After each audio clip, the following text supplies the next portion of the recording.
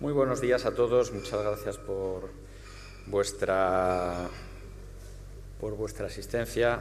La verdad es que siempre es un placer estar aquí en mi ciudad, en, Salamanca, y sobre todo pues, en un acontecimiento como el que aquí nos, convoca, que son 25 años nada más y nada menos de, aniversario de Aqualia.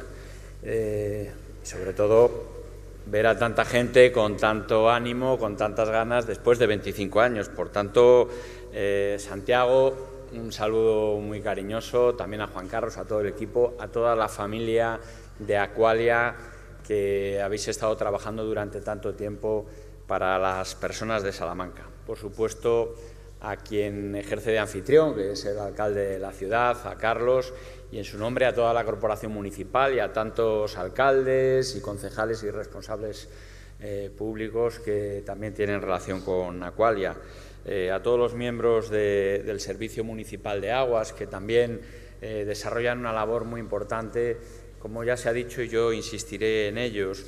Bueno, creo que 25 años es motivo para felicitar a Aqualia.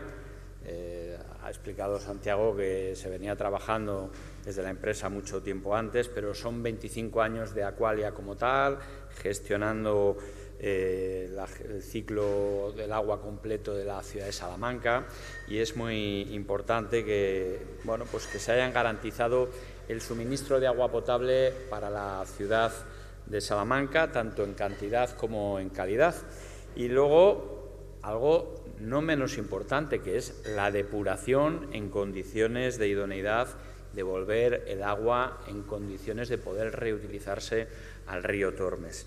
Mm, la verdad es que hablar hoy de agua suena un poco, mm, no sé, tendréis que hacer los 25 años probablemente todos los días porque necesitamos mucho agua, pero es verdad que hoy más que nunca, eh, tú lo decías, van a venir otras temporadas de sequías, el agua es una necesidad vital, está presente en nuestra vida cotidiana, sin agua eh, no solo no podemos beber, sino que no puede crecer el sector industrial, no puede crecer la población, no se puede desarrollar el, tema de los regadíos. Es, por tanto, una garantía de futuro tanto para las personas como para el planeta.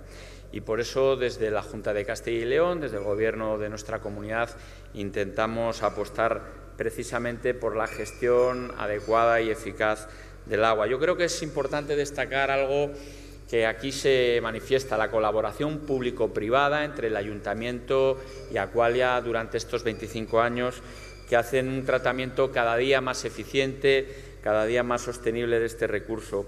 Bueno, es lo que intentamos hacer nosotros desde el Gobierno de Castilla y León, hacer una gestión integral del ciclo del agua y así vamos a seguir realizando y actuando desde el futuro. Eh, nosotros tenemos dos objetivos. Por un lado, asegurar la disponibilidad de agua en todo el territorio, tanto en calidad como en cantidad. Lo estáis escuchando en las botellas que están colocando el agua. Lo estamos asegurando hasta en un acto como esta naturaleza. Eh, sí, dar alguna, recordar algunos datos. Los abastecimientos mancomunados son muy importantes. En Salamanca, pues me viene a la cabeza Cabeza de Horno, Sierra de Francia.